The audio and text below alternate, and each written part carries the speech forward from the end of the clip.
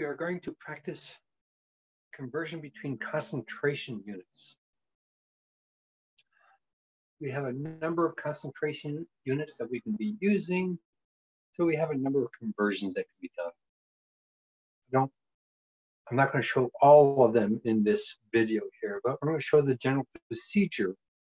Um, we often have to do a unit conversion. We get pressure units, uh, concentration units in one value. And for a different property that we're trying to calculate, we need it in a different value. When we do our conversions, we often need, density. So we try to just give that as a general rule, and if we don't need it. Um, so we want to see what we have, see what we need, and then try to plot, find the path to go from what we have to what we need. So I'm going to start with um, a solubility.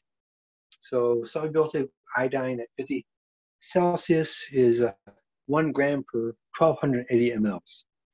So solubility is often grams per 100 mLs, but sometimes, uh, especially for these lower solubility things, uh, they'll give it, in this case, they'll give one gram and what the volume that that one gram dissolve into.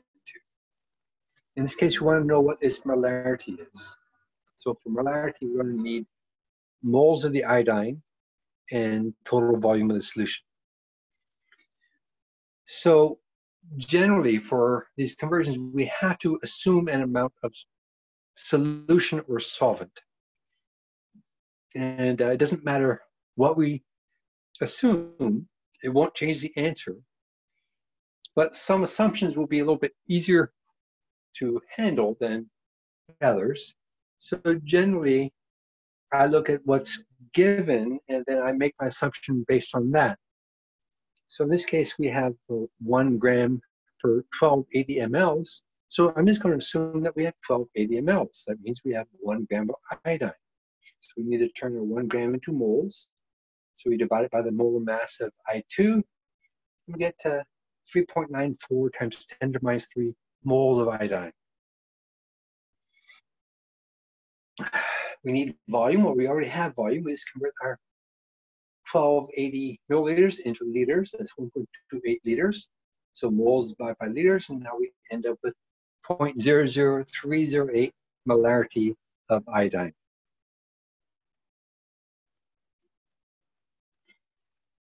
Okay, so if we have a 10%, 10%, the WW is weight weight. It means we're dealing with a mass percent calcium chloride solution, aqueous, so we know it's in water.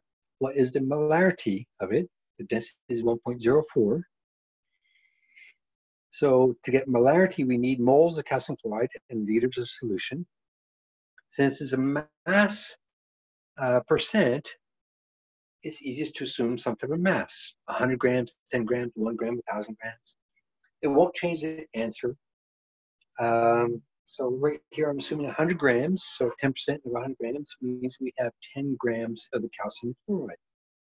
So we need moles of it. So we divide it by its atomic mass, the molecular mass. We get uh, 0.0901 moles of calcium chloride.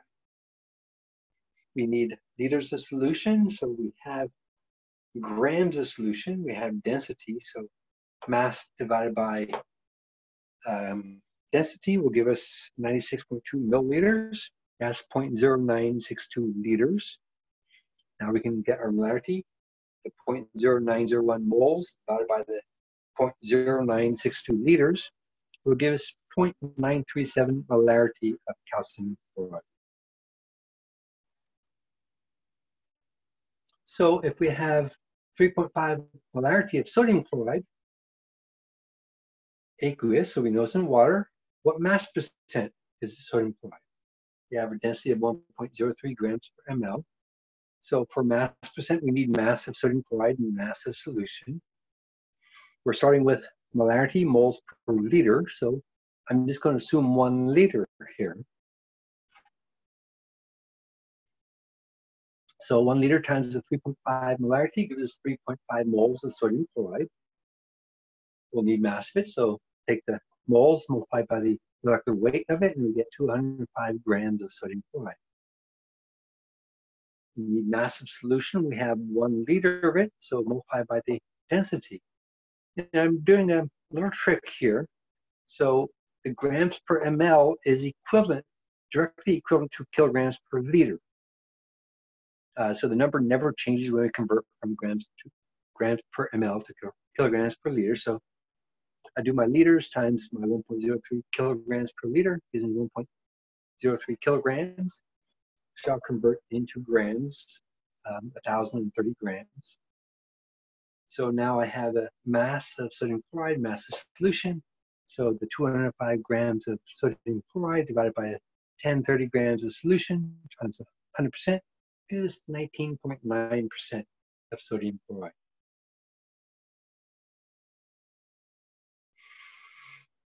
Taking that 3.5 molarity sodium chloride solution again, what molality is it? So molality is moles per kilogram. So we need moles of sodium chloride kilograms of water, not the whole solution, kilograms of water.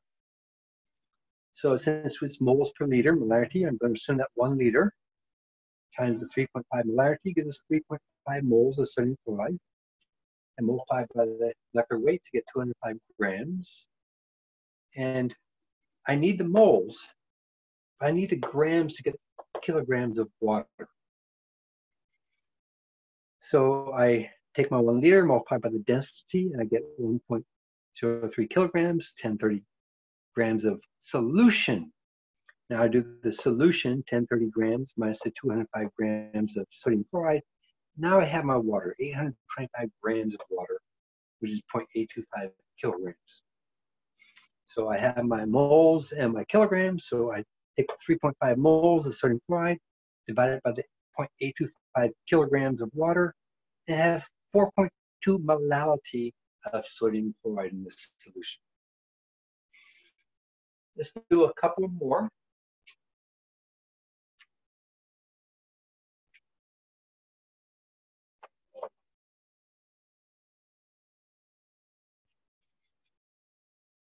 Okay, in this case, we have a 2.7 molality uh, aqueous glucose solution. We want to know what the mole fraction of glucose is the density is 1.04 grams per ml. So mole fraction means we need moles of glucose and total moles.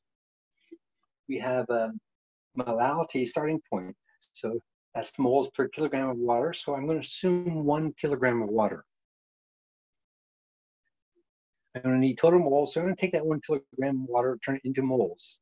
Kilogram, turn into grams, divide by the molecular weight of water, 55.5 moles of water. Then I take the 2.7 molality, moles per kilogram, multiply by the kilograms of water, and we get 2.7 moles of the glucose. So now I have both moles, I add them together, I get 58.2 total moles.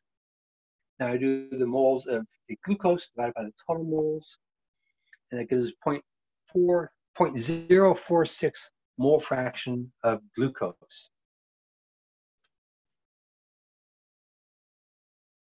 Okay, so uh, another one we have um, aqueous sucrose solution with a mole fraction of 0.13.